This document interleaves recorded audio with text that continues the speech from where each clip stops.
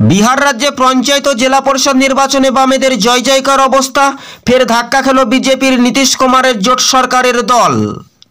বেগুইসরাই, লক্ষ্মীসরাইয়ের পর এবার খাগাড়িয়ার জেলার এক নম্বর জেলা পরিষদ আসনে ন হাজারেরও বেশি ভোট মার্জিনে জয়লাভ করলেন সিপিআই প্রার্থী কমরেড রজনীকান্ত কুমার। ছাত্র আন্দোলনের গুরুত্বপূর্ণ নেতা ছিলেন।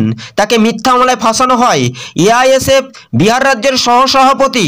তিনি জেল অবস্থায় বন্দি থেকেও রেকর্ড মার্জিন ভোটে জয়লাভ করলেন।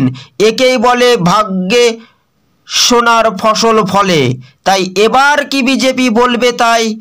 রাজ্যে জুড়ে বামেদের লাল ঝড়ের দ্রাপট উঠছে। রাজনৈতিক মহল বলছে, বামেদের বড় জয়, ধাক্কা খেলো বিজেপি।